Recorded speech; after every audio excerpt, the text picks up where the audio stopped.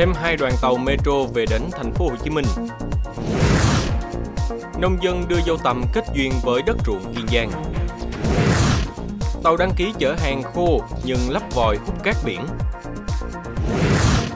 Cảnh sát hóa trang thờ hồ nổ súng phá trừng gà tại khu biệt thự ở Tiền Giang. Phúc đời thường hôm nay, chuyện người nghệ sĩ may long bào sân khấu. Kính chào quý vị khán giả của Góc Nhìn trưa nay. Vừa rồi là những thông tin chính mà chúng tôi gửi đến quý vị trong buổi trưa hôm nay, thứ Bảy ngày 12 tháng 3 năm 2022. Bản tin của chúng tôi liên tục cập nhật và gửi đến quý vị những thông tin đáng chú ý nhất xảy ra trên cả nước. Và tôi là Bích Ngân của chương trình Góc Nhìn trưa nay. Di tích Sài Gòn hai về di chuyển sắp xuất hiện Wellness Resort hàng đầu Việt Nam tại Hồ Tràm, nơi hệ thống tiện ích Wellness được nâng lên một tầm cao mới. Đón đầu xu hướng Wellness Investment đầu tư 20% chỉ 600 triệu đến khi nhận nhà. Best Western Premier Tram Resort Hồ Tràm về với ngôi nhà Wellness của riêng mình. Thưa quý vị, sau nhiều ngày vận chuyển từ Nhật Bản, đoàn số 12 và 13 thuộc tuyến Metro số 1 Bến Thành Suối Tiên đã về đến cảng Khánh Hội, thành phố Hồ Chí Minh. Hơn 30 kỹ sư công nhân được huy động đến cảng để thực hiện việc bốc dỡ. Theo ghi nhận tại cảng Khánh Hội, 6 toa thuộc đoàn tàu số 12 và 13 tuyến metro số 1 bắt đầu được tháo dỡ từ tàu thủy xuống xe siêu trường siêu trọng để vận chuyển về depot Long Bình, thành phố Thủ Đức vào những ngày tới. Tương tự các đoàn tàu đã về nước trước đó, hai đoàn tàu số 12, 13 được sản xuất tại Nhật Bản, vỏ làm bằng hợp kim nhôm, sơn màu chủ đạo xanh dương. Chiều dài mỗi đoàn tàu gồm 3 toa là 61,5 m, có thể chở được 930 khách đứng ngồi. Tàu được thiết kế tốc độ 110 km/h đoạn trên cao và 80 km/h đoạn ngầm.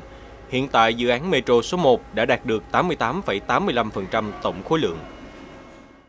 Thông tin từ Bảo tàng Hải Dương học, Viện Hải Dương học thành phố Nha Trang, tỉnh Khánh Hòa cho biết, bảo tàng vừa tiếp nhận một con tôm hùm Canada màu xanh ngọc bích quý hiếm do một công ty ở thành phố Hồ Chí Minh trao tặng. Tôm hùm Canada còn gọi là tôm hùm Alaska, thông thường có màu xanh cam. Theo nhiều nguồn báo chí nước ngoài, tỷ lệ để tìm thấy được một cá thể đặc biệt như thế là một trên hàng trăm triệu con. Dù đã có khách hàng ngỏ lời mua lại với giá 50 triệu đồng, nhưng công ty không bán. Sau khi tiếp nhận, Bảo tàng Hải Dương học đã đưa con tôm hùm vào nuôi trong bể kính ở khu trưng bày, điều chỉnh nhiệt độ thấp dần để phù hợp với nhiệt độ tôm sống ở môi trường tự nhiên. Được biết, tôm hùm có màu xanh ngọc có thể do đột biến gen hoặc do ảnh hưởng của điều kiện môi trường sống. Từ một lần đi tham quan thực tế ở An Giang, nông dân Ngô Phú Vinh ở phường An Bình, thành phố Rạch Giá, Kiên Giang đã quyết định đưa cây dâu tằm về kết duyên với đất lúa, rồi kết hợp trồng xen canh với cây cà na thái, mang về nguồn thu nhập khá cao. Với hơn 4 công đất ruộng ban đầu, anh Vinh chỉ trồng lúa, sau đó chuyển sang trồng rau màu. Tuy nhiên do giá cả bấp bênh, lại phải bỏ nhiều công chăm sóc nên anh đã mạnh dạn chuyển sang trồng cây dâu tầm kết hợp trồng xen canh với cây cà na thái. Đất tầm là tại ờ, bạn có đi ờ, tham ờ, đi tham quan du lịch vườn dâu hai thượng ở trên An Giang á. Thấy vườn dâu trển nó trồng nó cũng trái dữ dằn mình có định mua về một chục nhánh trồng thử thôi. Trồng thử về thấy trồng thấy đất mình phù hợp với cây dâu nè rồi mình mới là chiết nhánh ra nhánh ra mình nhân ra từ từ giờ mình trồng có thể, thể 500 nhánh rồi 500 nhánh giờ mình tính định trồng thêm vài nha chài trăm nữa đó. Trong dâu tầm cây nhỏ cũng cho trái, tuy nhiên với cây lớn, bình quân 3 tháng anh Vinh sẽ thu hoạch trái. Mỗi lần hái được 15 đến 20 kg dâu tươi, thu hoạch kéo dài hơn 10 ngày. Đồng thời ngoài bán trái dâu tươi với 50.000 đồng một ký, thì anh Vinh còn làm ra rượu dâu, dâu sấy khô và siro dâu tầm bán với giá 50.000 đồng một keo. Ngoài dâu tầm, anh Vinh cũng trồng cà na thái. Hiện cà na nhà anh cũng cho trái và thu hoạch bán với giá 25.000 đồng một ký. Từ mô hình kết hợp dâu tầm với cà na này, anh Vinh cho rằng kinh tế mang về khoảng 200 triệu đồng một năm. Thời điểm này đang vào cao điểm của mùa nắng nóng để tiết kiệm nước tưới và giảm chi phí trong sản xuất, nhiều bà con nông dân ở làng Hoa Sa Đéc, tỉnh Đồng Tháp đã đầu tư lắp đặt hệ thống tưới phun tự động. Theo tính toán của bà con nông dân, chi phí đầu tư hệ thống tưới phun tự động cho mỗi công đất chưa đến 10 triệu đồng, bao gồm cả hệ thống ống và motor điện. Khi dùng thì chỉ cần một thao tác ấn nút trong bộ điều khiển từ xa. Sau khoảng 20 phút là toàn bộ vườn hoa đều ướt, vừa tiết kiệm nguồn nước, vừa có thêm thời gian để làm công việc khác. So với việc thuê nhân công tưới thì sử dụng hệ thống phun tự động sẽ tiết kiệm nguồn nước và chi phí gấp 10 lần. Đặc biệt là đầu tư một lần, nông dân có thể sử dụng được nhiều năm. Do đặc điểm của hoa sa đéc là trồng trên giàn nên việc tưới phun tự động sẽ không làm trôi phân, giữ được độ ẩm cho cây trồng và hạn chế được tình trạng động nước, thối rễ, nhão đất. Chính những ưu điểm trên nên hiện tại nhiều hộ trồng hoa ở Sa Đéc đã thực hiện mô hình này, qua đó đã giảm đáng kể chi phí, tăng lợi nhuận trong sản xuất hoa kiển. Đây cũng được xem là cách làm hiệu quả trong tình hình xâm nhập mặn và hạn hán đang diễn biến phức tạp ở các tỉnh miền Tây như hiện nay.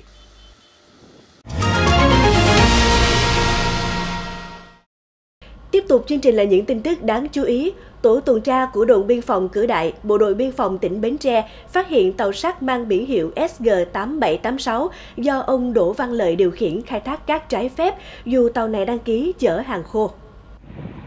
Vụ việc bị tổ tuần tra phát hiện cách bờ biển xã Thừa Đức, huyện Bình Đại, tỉnh Bến Tre khoảng 5 hải lý. Tại thời điểm phát hiện, trên tàu đã có khoảng 100 khối cát và ông Lợi cùng các thuyền viên trên tàu không xuất trình được giấy tờ liên quan. Điều đáng nói, theo giấy chứng nhận đăng ký phương tiện thủy nội địa do Sở Giao thông Vận tải Thành phố Hồ Chí Minh cấp, tàu sắt nói trên có công dụng chở hàng khô. Thế nhưng tại thời điểm lực lượng biên phòng tỉnh Bến Tre phát hiện, tàu này được gắn thêm thiết bị, máy móc chuyên dụng để hút cát. Cơ quan Cảnh sát điều tra Công an tỉnh Cà Mau vừa thực hiện quyết định khởi tố vụ án khởi tố bị can và bắt tạm giam đối với Trần Văn Phương, 39 tuổi, vì có liên quan đến hành vi tham ô tài sản. Trần Văn Phương nguyên là kế toán của Văn phòng Đảng ủy Dân chính đảng tỉnh Cà Mau. Theo kết quả điều tra ban đầu, vào tháng 5 năm 2019, Văn phòng Đảng ủy Dân chính đảng phân công Trần Văn Phương thực hiện nhiệm vụ kế toán theo dõi tài chính cơ quan và quản lý công tác thu nộp đảng phí của đảng ủy, lợi dụng vào chức năng quyền hạn được giao từ ngày 1 tháng 6 năm 2019 đến ngày 30 tháng 3 năm 2021, Trần Văn Phương thu đảng phí với số tiền 1 tỷ 852 triệu 160 ngàn đồng nhưng chỉ nộp về cơ quan chức năng 503 triệu 861 ngàn 714 đồng, còn lại số tiền hơn 1,3 tỷ đồng Phương chiếm đoạt và tiêu xài cá nhân. Cơ quan điều tra đã tiến hành lệnh khám xét nơi ở của Trần Văn Phương để thu giữ tài liệu có liên quan.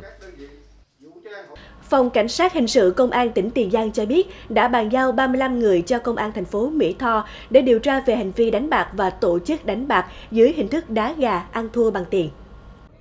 Theo thông tin ban đầu, các trinh sát của Phòng Cảnh sát Hình sự Công an tỉnh Tiền Giang bất ngờ nổ nhiều phát súng ập vào căn biệt thự đang xây ở khu dân cư bờ kè sông Tiền thuộc phường 4 thành phố Mỹ Tho, bắt quả tang 35 con bạc đang đá gà ăn tiền. Tụ điểm đá gà này nằm ở dãy biệt thự bờ kè sông Tiền đang xây dựng gian dở, không người trông coi. Tại hiện trường, công an tạm giữ 35 đối tượng, 110 triệu đồng, 10 xe máy, 3 con gà đá.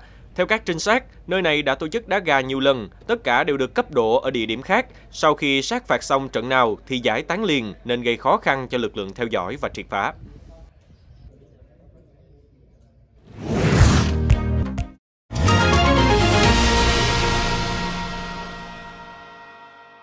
Thưa quý vị, để một vở diễn cải lương trọn vẹn, ngoài tài năng của người nghệ sĩ, yếu tố phục trang cũng đóng vai trò quan trọng.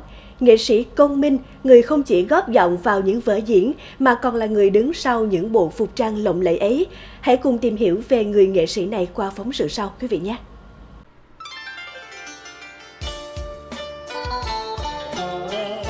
Nghệ sĩ Công Minh là con trai của nghệ sĩ Minh Tơ, Ông đã gắn bó với sân khấu từ năm 12 tuổi, nơi không chỉ cho ông cơ hội đứng trước khán giả mà còn cho ông công việc nuôi sống gia đình.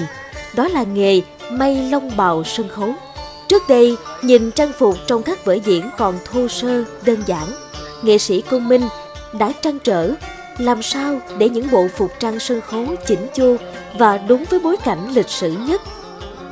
Phục trang sân khấu đặc trưng với vẻ hùng dũng, mạnh mẽ, khác với thời trang thường ngày, nên việc gia công cho đồ diễn cần nhiều công sức.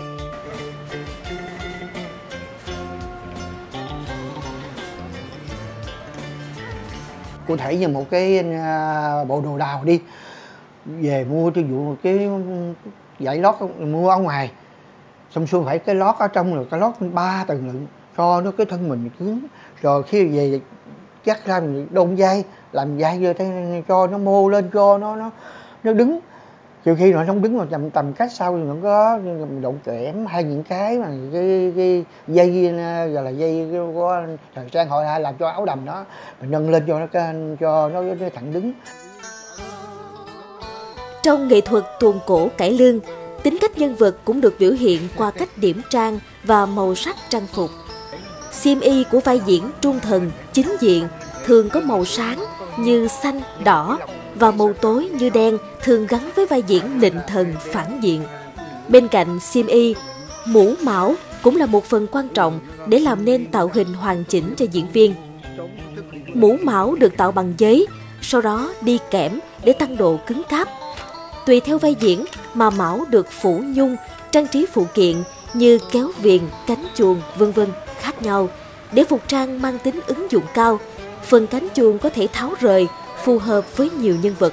Đối với nghệ sĩ công minh, bối cảnh lịch sử, triều đại luôn là yếu tố được ông chú ý lưu tâm nhất. Mình không ờ, không không cái đi sai lệch những cái phục trang đó không phải là kêu vừa đang quần chúng đang bận đồ dân già ấy cái ờ, đóng cổ trang tự nhiên đúc vào quần chúng một cái áo bà ba lấy trang lãng xẹt rồi nhà lê nhà nhà nguyễn theo vượt nhà lê đội cái dạng cái giống cái ờ, cái nón dung vui xuống. Còn nhà Nguyễn là đội nón lá thời của ông Gia Long. Thông thường, mất từ 4 đến 5 ngày cho một bộ trang phục. Trong đó, với những phục trang vẽ tay thì cần nhiều thời gian hơn, trung bình khoảng 10 ngày. Khi lên sân khấu, người nghệ sĩ cần lộng lẫy, thu hút nhất, nên xiêm y được đính nhiều ngọc, cơm, kim sa. Chính nhờ sự kỳ công trong từng chi tiết, nên những thành phẩm của nghệ sĩ công minh không chỉ được nghệ sĩ trong nước tin tưởng mà còn được bộ phận nghệ sĩ hải ngoại lựa chọn để biểu diễn. Chú mong đợi nhưng mà giàu chú còn hay không còn thì những các à, à, nhà thiết kế nhà tạo ra chú mong cái họ sẽ có một cuốn sách hay những cái thế nào đó mẫu mã để đưa lưu truyền những cái những phục trang đặc biệt sử rõ ràng về truyền thống chứ cách điệu cách điệu nào thôi. Cho các em, các cháu sau này có cái cơ bản đó mà học. Nghệ sĩ công minh quan niệm, thợ may phục trang sân khấu cần nắm vững kiến thức lịch sử từng triều đại để trở thành người thợ có tâm, có tầm. Dù thời vàng son của nghệ thuật cải lương không còn, song vẫn còn một người như nghệ sĩ công minh, một người luôn mong muốn thế hệ tương lai có thể hiểu hơn về nghệ thuật cải lương nói chung phục trang sân khấu nói riêng thông qua những sản phẩm.